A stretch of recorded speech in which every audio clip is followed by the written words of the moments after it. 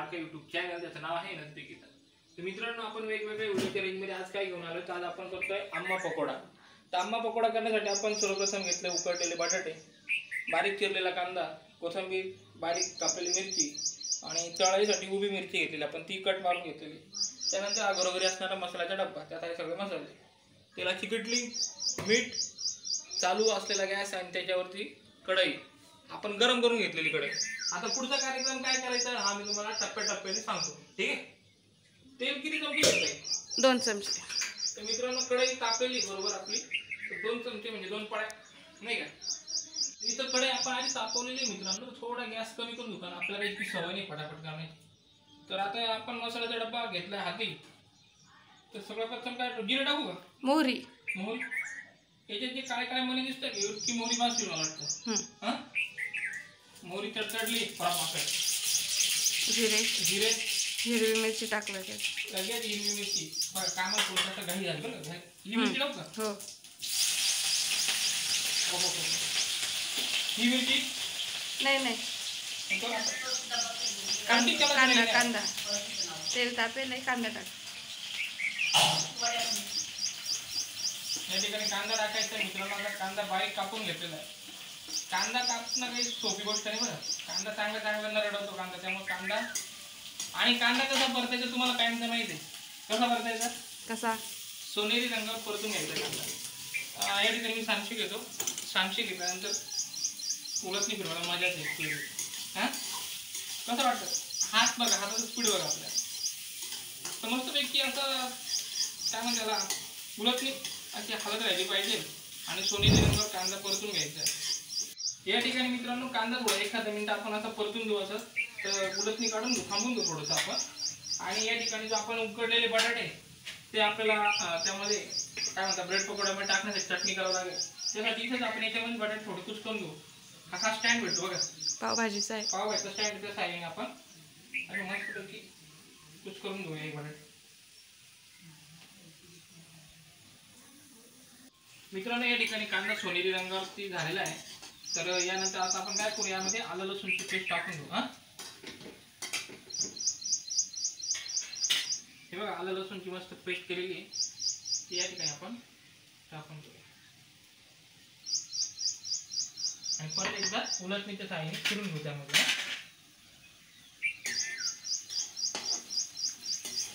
मित्रांनो या ठिकाणी कांदा आपला एकदम चांगला अशा पद्धतीने परतून झालेला आहे. आता आपण काय करू याच्यामध्ये थोडंसं हिंग टाकूया हा. हे बघा मसाल्याच्या डब्यामध्ये हिंग आहे. इतका भरपूर होईल. हिंग टाकू. हळद. त्यानंतर हळद मला वाटतं इतकी बाजू. मस्तपैकी हळद टाकूया. परतून घेऊन कोथिंबीर. हळद जर टाकले आता आपण असं परतून घेऊ थोडंसं त्याला हळद कारण ही आरोग्यदायी असते आपल्याला माहितच आहे. त्यामुळे हळद आपल्या जवळजवळ प्रत्येक स्वयंपाकात असते. कोथिंबीर. सांगशी घ्यावं लागेल. थोडीशी तर कोथिंबीर आहे आपल्याकडे. आपण ही कोथिंबीर आहे त्यामध्ये टाकून घेऊ अशी हिरवी कोथिंबीर. कोथिंबीर टाकल्यानंतर थोडं परतून घेऊ परत एकदा. मीठ. आणि आता यानंतर आपला कायमचा प्रकार? मीठ चवीनुसार टाकायचे आपल्याला.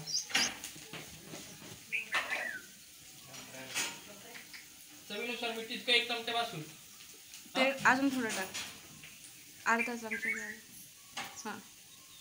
जास्त ते चवीनुसार मीठ टाकायचं. मिठाचा अंदाज थोडं कमी जरी पडलं तरी चालत म्हणजे आपल्याला परत टाकता येतं. त्यामुळे मिठाचं काही जास्त टेन्शन घ्यायचं नाही. पण मीठ आहे महत्वाचं आहे. परत एकदा परतून घेऊ मस्तपैकी. हा चमचे फिरवण्यात मात्र माझ्या आता मित्रांनो यानंतर मात्र आपण काय करायचं याच्यामध्ये हे कुस्करलेले बटाटे आहे का कुस्करलेले. हे मस्तपैकी त्यात ऍड करूया आता पण टाकल्यानंतर मित्रांनो तर आता आपण मस्तपैकी हे थोडंसं परतून घेऊया. बटाटे परतवणं मात्र झोप नाही बरं का? आणि थोडासा गॅस परतवताना आपण? आता गॅस बंदच करून दे. बंदच करून टाकू हा बंद करून दे. कारण बटाटे अगोदर उकडलेले असताना आपण. म्हणजे थोडक्यात आता फक्त हे भाजीला आपल्याला काय म्हणतात तो मसाला लावून घ्यायचा एकत्र असा. चांगलं एकजीव करून घे. त्या ब्रेड पकोड्यामध्ये आपल्याला मध्ये मध्ये टाकायचं आहे.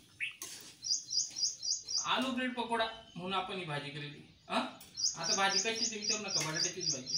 मित्रांनो या ठिकाणी आपली बटाट्याची भाजी मस्तपैकी तयार करून झालेली आता आपण काय करू? गॅस तर बंद केलेलेच आता आपण यावरती हे झाकण ठेवून देऊया.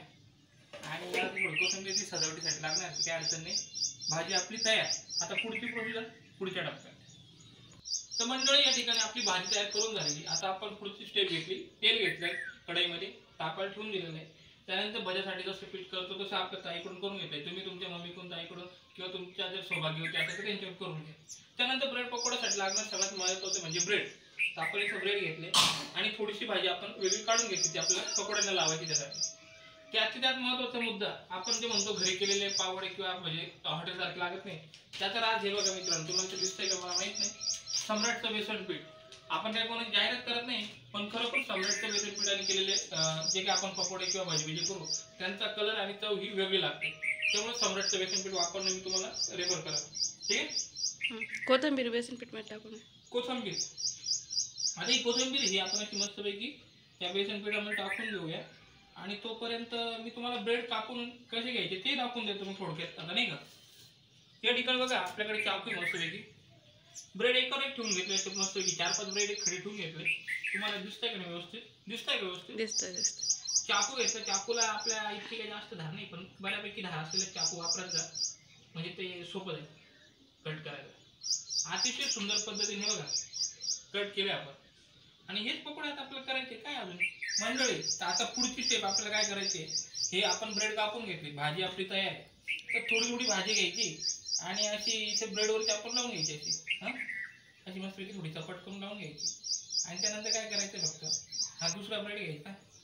त्यावरती असा ठेवून द्यायचा. इतकं सोपं आहे. हे बघा.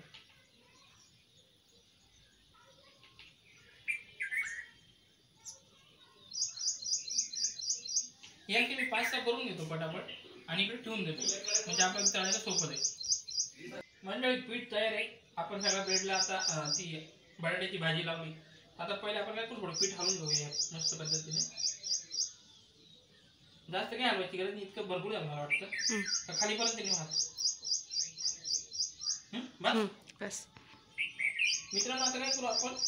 यामध्ये एक एक हा ब्रेड मस्तपैकी यामध्ये भिजून घेऊ. बस हलका तो नरम आहे ना. आता हे काढू निथरून घे हां. घेऊया मग. भांडा हातात धर कढईपर्यंत. हे बघा. हां हळूच सोड आणि तो निथळतो की बऱ्यापैकी हां दुसरा सोडा आता तसंच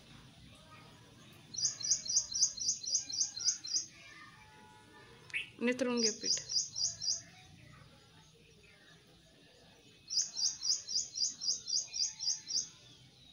पीठ निथून घेऊ असं चांगल्या पद्धतीने. हा? हं, आणि थोडं जोगं झालं मला वाटतं हं. हळू. सवय नसल्यामुळे थोडासा गोंधळ होतो. आपण इकडे आता हात धुवून घेऊया. ते महिला मंडळ कसं काय पटापट काम करत असेल ते विषय आहे की नाही? कोरडा कर त्याला हात कोरडा करून घ्या तेलाजवळ सांगण्याचा महत्त्वाचा मुद्दा तेलाजवळ हात कोरडा असला पाहिजे हं. नाही तिकडे. तर आता आपण अं, सांडगे घेऊ. सांडशी घेऊ नको तेल हातावर. नको? नाही. हळूच उलटा कर आता. तो उभा आहे तो उलटा कर वाटतं थोडंसं. हा हळूच कर हं. बस. आणि विशेष म्हणजे हे बघा आपण ही जाळी घेतलेली यावरती तळून यावरती ठेवणार आहे. त्यामुळे तेल निथरून जाईल. आपण बघतो की घरी जे करतो आपण त्यावरती बऱ्यापैकी तेल राहतं. आणि या जाळीमुळे तेल निथून खाली जाईल. तर अशी पद्धत आहे मित्रांनो. बघूया पुढची स्टेप मित्रांनो या ठिकाणी आपले चांगल्या पद्धतीने तळून झालेले आहे बघा. तर आपण असा झाऱ्या हलून घ्यायच्या आहे. त्यामुळे तेल चांगलं निसरलं जाईल. पण तरी त्यामध्ये तेल राहण्याची शक्यता मोठ्या प्रमाणात असल्यामुळे ही जाळी आपण घेते त्या जाळीतून भरपूर तेल खाली निघून जाईल. आपण पकोडा तिरपा केला कढईला कारण जास्त तेल राहत होतं. थोडं तिरपा करून काढल्यामुळं तेल बऱ्यापैकी कमी झालं असतं. पण अजूनही ह्याच जाळीवर आपण ठेवतोय कारण इथून तेल निघायची शक्यता आहे. ठीक आहे? तर मित्रांनो या ठिकाणी बघा कलर कसा आलेला आहे. सम्राट बेसन पिठात तयार केलेले आलू पकोडे आणि त्यांचा कलर अतिशय उत्तम. गरमागरम असे पकोडे तयार झाले आता आपण थोड्या वेळ डिशमध्ये सर्व करूया आणि आपल्या आजच्या परीक्षकांना विचारूया याची चौकशी ती. ठीक आहे? ओके. मंडळी ही रामराम बघू शकता आपला आलू पकोडा आलू ब्रेड पकोडा तयार झालेला आहे. आणि आपली सगळी मंडळी इथं बसलेली पप्पा इकडे बाजूला बसले कारण पप्पाने व्हिडिओ व्हिडिओ जास्त काही चालत नाही त्यामुळे पप्पा बाजूला बसलेले ही सगळी आपली चांडाल चौकडी हां? चांडाल चौकडी बसलेली तर आज मी खास आपण तुम्ही मम्मीला तर ओळखतात तर मम्मी व्यतिरिक्त आहे दोन चेहरे कोण आहे त्यांची मी तुम्हाला ओळख करून देतो. हे काही साध्या हस्ती नाही. तर ब्लॅक शर्टमध्ये बसलेलं आहे ना अशोक बसते माझा मोठा भाऊ आहे. नाशिकमधील प्रसिद्ध असं युट्यूबरच आहे अशोक बसते नावाने त्यांचं युट्यूब चॅनल आहे. आणि ते वेगवेगळ्या हॉटेलचे रिव्ह्यू करतात.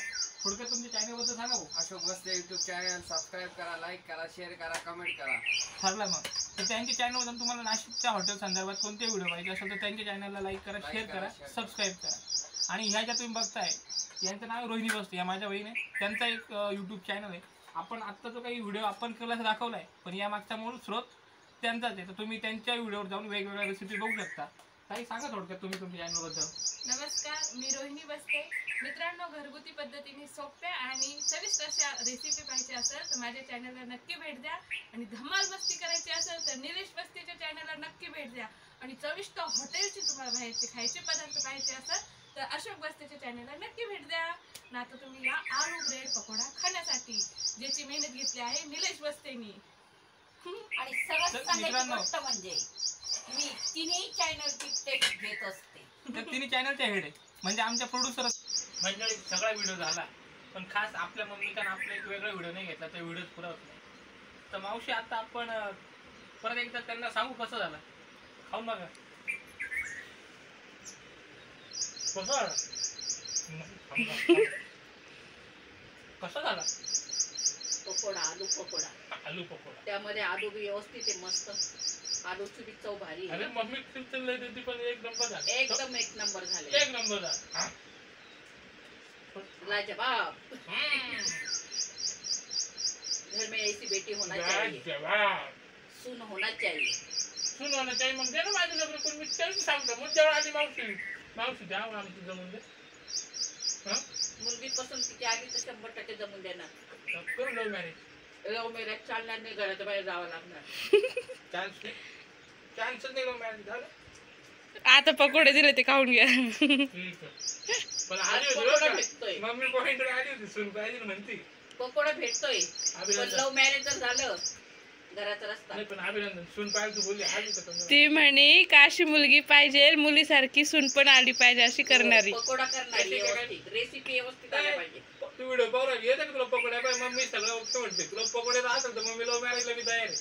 आपलाच व्हिडिओ पाहिजे पकोडे तर आपलाच व्हिडिओ. पाय आपलाच व्हिडिओ पाहिजे Marriage, marriage. अरेंज मॅरेज आपण करून घेऊ. लव्हला अरेंज करून घेऊ. काय बरं तुम्ही नंतर भांडत बसा. तू पाहते रे पण तू लक्षात ठेव का तू पाहून घे. हा. लव्ह मॅरेज असेल तर घराचा रस्ता.